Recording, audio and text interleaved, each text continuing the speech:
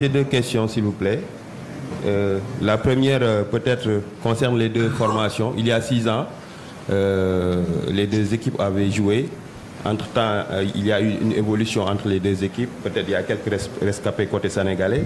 Il y a Mané, Koulibaly, Cheikh Kouyaté, Ghana et Sar. Peut-être de l'autre côté, Toko Kambi, Vincent Aboubakar et peut-être Clinton J. Qu'est-ce que vous pouvez nous dire de l'évolution de ces deux équipes et, quel, genre de match vous, vous attendez? L'autre question, ça concerne un peu Bounassar. Hein. On voit qu'il est dans un groupe de performance du Bayern. La dernière fois même, il avait joué, il avait fait une passe décisive. Euh, qu'est-ce qui fait que Bouna ne revient pas alors que si on sait que euh, dans le passé, il, il fallait peut-être être dans un groupe de performance ou bien jouer en club pour pouvoir répondre aux critères de l'équipe nationale. Merci. Merci beaucoup, euh, Djibril. Je crois qu'il y a trois, trois questions. D'abord, la question sur, euh, sur. Et puis, euh, bien sûr, l'évolution de l'équipe nationale, en tout cas depuis 2017, où on a rencontré cette équipe en quart de finale.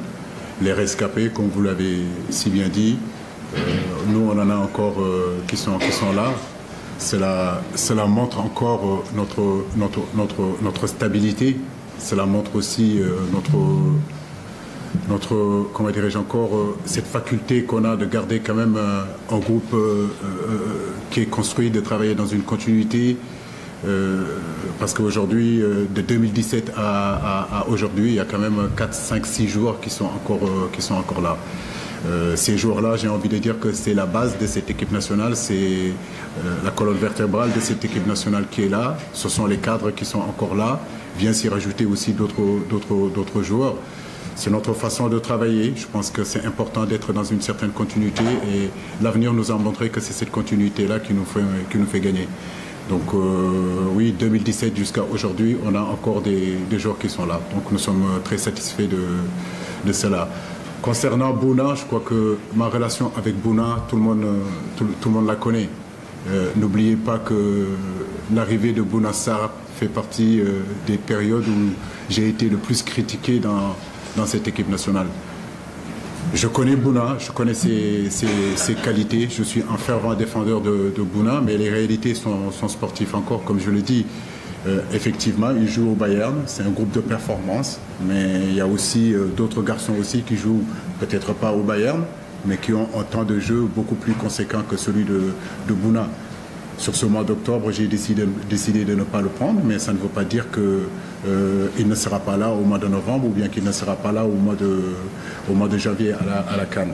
Mais on a préféré quand même euh, privilégier en réalité la compétitivité d'un jeune garçon qui a fait toutes nos équipes, Mamadou Sané, où beaucoup d'entre vous disaient qu'on pouvait le voir sur un match amical. On a privilégié ce garçon-là qui joue quand même l'Europa League, qui est titulaire dans son équipe. Et on va voir qu'est-ce que ça vaut. Ça ne veut pas dire que forcément il va commencer le match, mais le voir pendant une semaine, dix jours, ça peut être, aussi euh, intéressant. La troisième, c'est. Oui, euh, l'opposition que nous, attendons, c'est déjà nous jouons face à une, grande équipe, une, en Grande Afrique, à son sein de, grosses individualités. Euh, ça sera un match euh, très important et comme nous, on a toujours l'habitude sur les matchs euh, importants de faire de notre mieux et surtout de faire de très très très bonnes choses. On a l'intention en tout cas sur ce, sur ce match-là euh, de faire aussi de, de, très bonnes choses. Je crois que contre l'Algérie, il y a eu des choses très intéressantes qui ont été, qui ont été faites, mais il y a aussi des petites choses que nous devons nous devons progresser. Et, à travers ce match-là contre le Cameroun, ce que j'attends, c'est qu'on puisse réagir déjà par rapport à, la défaite contre l'Algérie et à nouveau recommencer encore à, gagner. Ok. Alors, merci. Euh, au suivant, c'est Mustapha Tombo. Euh, bonjour coach. Euh, la première question, je suis là. Alors la première question concerne l'un des convoqués. il s'agit de Noah Fadiga. Il avait eu quelques soucis cardiaques, ce qui avait euh, d'ailleurs valu une rupture de contrat du côté de Brest. Et il a trouvé la relance, euh, je crois, du côté de la Belgique, à Genk. Euh, je voudrais savoir quels sont les critères ou bien quelles sont les assurances que vous avez eues quant à sa possibilité à pouvoir continuer en équipe nationale? Je veux avoir ces garanties-là. Et la deuxième question, ça concerne toujours la santé, mais cette fois-ci la santé des footballeurs.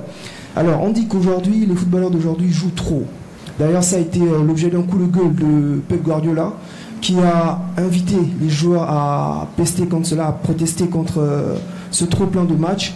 Vous, en tant que coach, en tant qu'ancien joueur, euh, quel est votre avis sur cette question? Et euh, aussi, quelles peuvent être euh, les conséquences d'une trop grande accumulation de matchs sans repos conséquent? Voilà. Très bonne question sur le tempo en réalité où les matchs s'enchaînent. On est bien d'accord que les réalités d'aujourd'hui ne sont pas les réalités que nous on joué.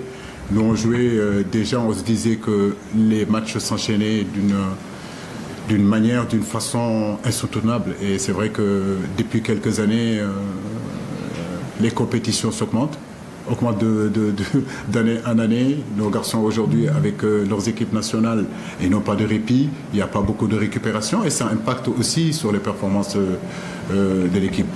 D'où l'importance, si vous voulez, d'avoir aussi des doublures dans une équipe, d'avoir un gros noyau en réalité de, de joueurs qui vous permettra avec l'accumulation de ces matchs-là, avec la vitesse de ces matchs-là, de pouvoir changer justement et donner du temps de jeu.